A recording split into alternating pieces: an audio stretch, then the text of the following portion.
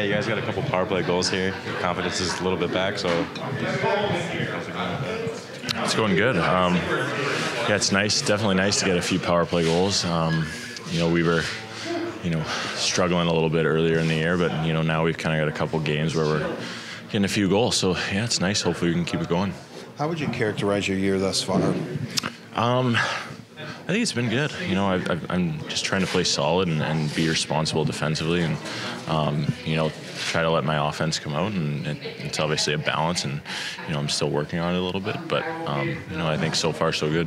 You, you, know, do you think that what do they want you to do? Is it is it just be a better defender, or be a little more edgier, be more physical? I mean, have because they, you know, because you seem to fall into favor and disfavor. You know what I mean? You're kind of, you know, you're a young player, but uh, obviously there's going to be some inconsistency. But you know, you see, you, at times it seems like, what are they doing with Dennis?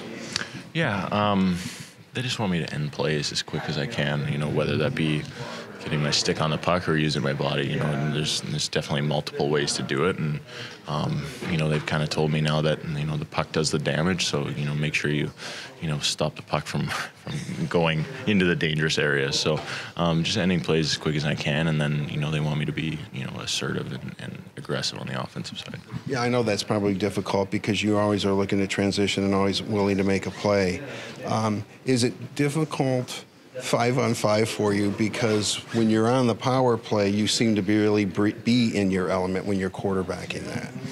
Um, yeah, the, you know the power plays is always fun. You know, especially when you have such good players around you, it makes it easy to put it on their stick and, and they'll be able to make a play with it. But um, five on five, you just have to you know find the balance and pick your spots. Um, can't be you know overly risky or, or you know make dumb or stupid plays, but um, but you have to take risks at the same time. You have to be aggressive. So um, yeah, it's just a balance and, and, and just picking my spots. You know, and, and you, you know, even though sometimes it might, you, you, a mistake may happen on the ice, you do have that resiliency to, to forget about it. I mean, if you're going to be successful in this league, you have to have a short memory. Yeah, absolutely. You know, mistakes are going to happen. Everybody makes mistakes every game. So um, when they do happen, it's just how you bounce back and respond from it. And you just have to put it behind you and, and stay positive and keep trying to make plays.